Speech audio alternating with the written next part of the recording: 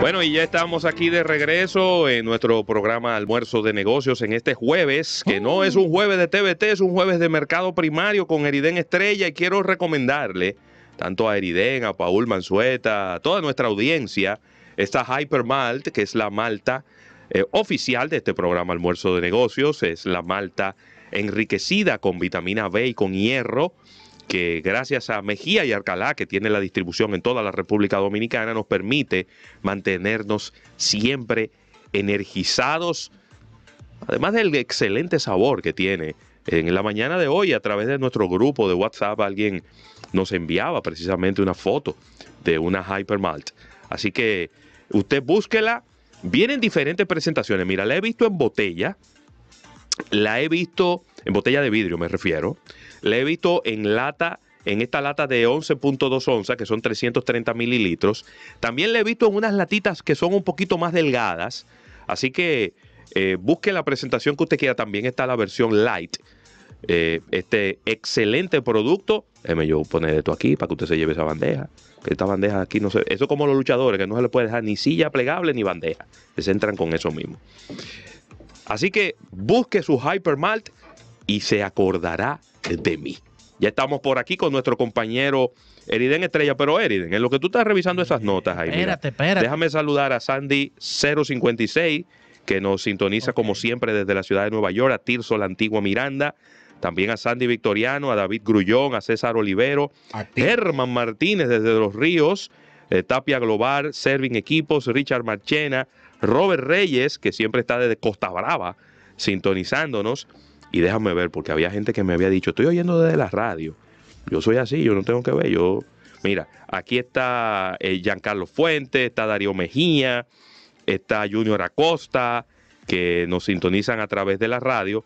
Saludos para todos ellos. Y aquí está el hombre, así que empiecen a hacer sus preguntas, porque la mía, déjame pasarle su café, Pedro, porque él se lo vaya bebiendo. Ay, ay, ay, gracias, papá. Escuché Dale. al gran Bill Gates Ujú. Hacer una, una crítica interesante, valiosa, creo, y hasta que nos pone a reflexionar sobre el papel de Elon Musk en Twitter. Y se va al extremo, Bill Gates, y dice, cuidado con eso, porque a lo mejor todo puede empeorar en Twitter ahora con la llegada de Elon Musk. Pero es que. Se, se fue, se fue al otro lado. Y mientras eso ocurre, entonces vemos a Larry Ellison y a otras empresas metiendo 7 mil y tantos de millones para, en el pool para financiar la compra de Twitter.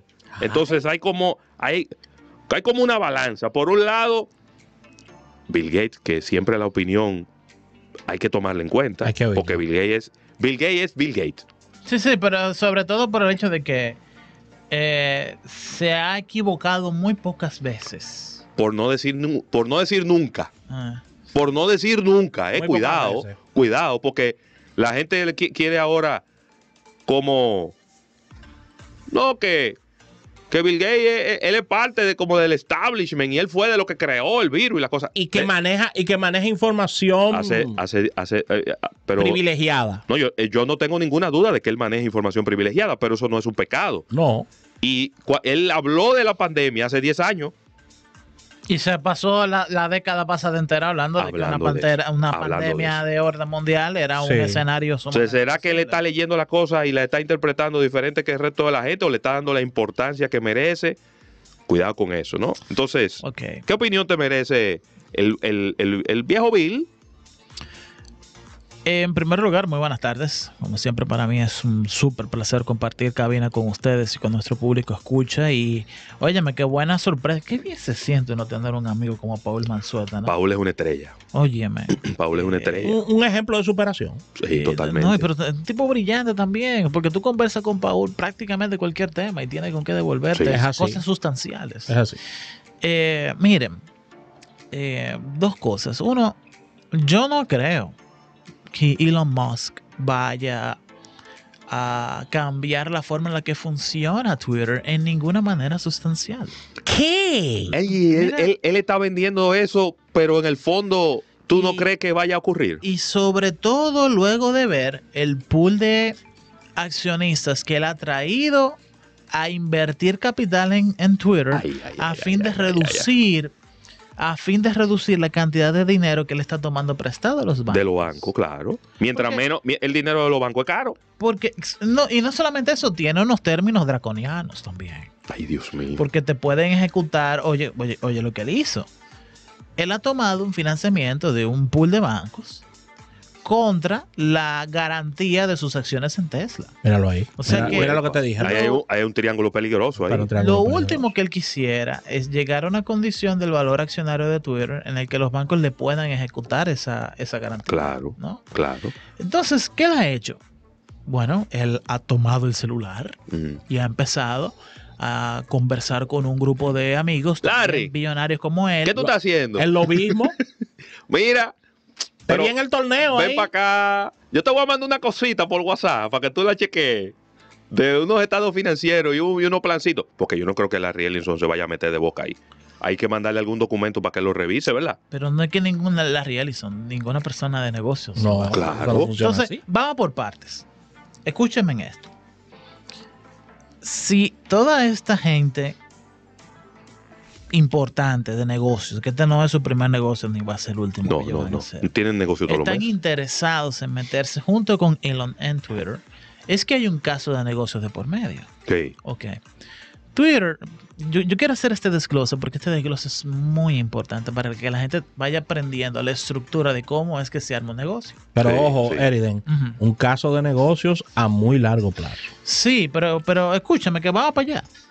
El tema es que Elon está presentando un caso de negocios. ¿Qué es un caso de negocios? Sí. Bueno, tú inviertes tanto, me das esto a mí, yo voy a trabajar durante este X tiempo y al final de X tiempo tu inversión va a valer X porcentaje. Y yo te voy a devolver tanto. Eso es lo que es un caso de Claro, negocios. Claro, retorno de la inversión. Exactamente. Twitter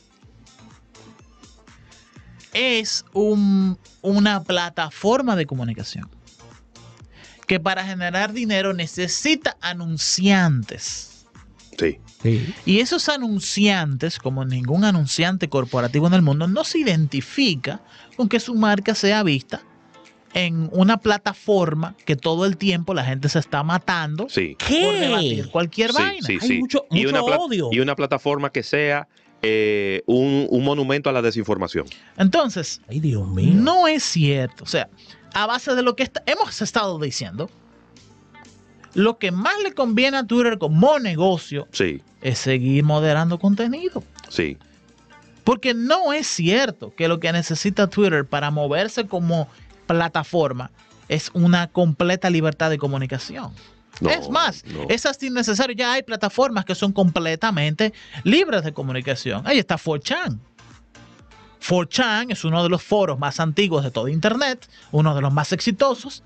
Tú puedes hablar y publicar cualquier cosa que te aparezca, desde pornografía, anime, hasta asesinatos de personas. Sí. Y es la principal plataforma que se utiliza en el mundo para liquear documentos. Ay, Dios mío. Tú puedes publicar cualquier cosa en 4chan sin tener una Sin cuenta de miedo, sin, 4chan. mie- sin miedo, sin miedo. Y ellos precisamente propician que la gente lo haga así porque 4chan es para eso. Sí, ¿Tú sabes qué tiene 4chan? sí. Cero anunciantes. Claro. ¿Y quién se va a ligar con eso? Por supuesto. Nadie. Entonces, tú necesitas un intermedio. Claro, Y ese intermedio es lo que ya ha estado tratando de lograr Twitter. claro. El tema es que cada problema que tiene Twitter es un problema a escala inmensa. Sí. Es que hay millones de trolls. Sí, Es que la gente por naturaleza es mala. sí. Es que la gente... So- sobre to- sobre todo, sobre todo cuando eh, eh, disfrazados y, y- y detrás de un anonimato. Sobre todo de Es cierto. todo eso. Es cierto. Y entonces, la mejor forma de tú lidiar con un algoritmo que no está detectando una vaina tan compleja como el sarcasmo Sí. claro. contratando gente que lo hagan Sí, y que lean de manera manual los mensajes. Hay los moderadores de contenido. claro. Entonces, lo que necesita Twitter es seguir adelante con lo que estaba haciendo.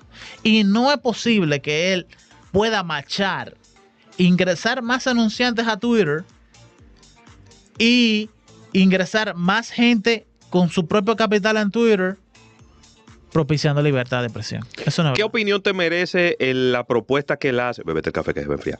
Eh, la propuesta que él hace de cobrarle a las empresas y a los gobiernos por la cuenta que ellos tienen en Twitter. Me parece justo. Porque la cuenta de Abinader o de la presidencia de la República Dominicana es el principal medio de comunicación que tiene el gobierno dominicano Eso es así. y el más barato. Cantidad de, de- de comunicadores y de periodistas en la nómina del gobierno diciendo cosas que son muchísimo menos efectivas en la, pu- de- en la opinión pública que la cuenta en Twitter. Claro. Plataformas de bots costosísimas en ese sentido. Y eso no es solamente la República Dominicana. Y instantáneo. Todos los... Instantáneo. El preside- la presidencia escribe algo y al mismo tiempo le llega a todo el mundo en la ahí mano. mismo. A todo el mundo. Entonces, óyeme, hay, institu- hay instituciones y empresas corporativas que deberían de pagar por el servicio que tienen con Sí, una virutica. Y te lo voy a decir la verdad, también con Facebook. Lo que pasa es que Facebook ha sido mucho más eficiente en otras cosas. Claro, la parte de publicidad Facebook es un monstruo. No, no, no, no, mira, la capacidad que tiene, bueno, ustedes son expertos en esto. Ustedes han visto la cantidad de info, da grima. A mí me dio la primera vez que lo vi. Yo tenía mucho tiempo que no publicaba un anuncio Mm, en, en en, en- en una, plataforma de. Facebook. Sí, en una plataforma de Facebook. Ok. Yo trabajaba en una empresa de, de publicidad y management, Adventures, en el Sí. 2012, 2013, por ahí. Y yo me acuerdo cómo era la, la segmentación de un, de un cosa, de un, de un comercial. Muchacho, entre los otros días. Y ellos unieron Facebook con, con Instagram. Todo, claro. La cantidad de cosas que tú puedes, tú puedes determinar exactamente a qué tipo de gente es que tú quieres llegar. Sí, sí, sí, sí. sí. Y entonces te estima la cantidad de gente que hay en ambas plataformas Sí. que son Es con una precisión casi láser. entonces, eso no lo tiene ninguna otra red social. No, Y eso es lo que debe de llegar Twitter en algún momento. claro. Ok. Eh, entonces, estoy de acuerdo, no con lo que dice Bill Gates, to- to- totalmente. Pero lo que dice Bill Gates es algo inaudito. No. No, es obvio. Cualquier persona con, con dos dedos de conciencia financiera sabría que esta es la conclusión del tema.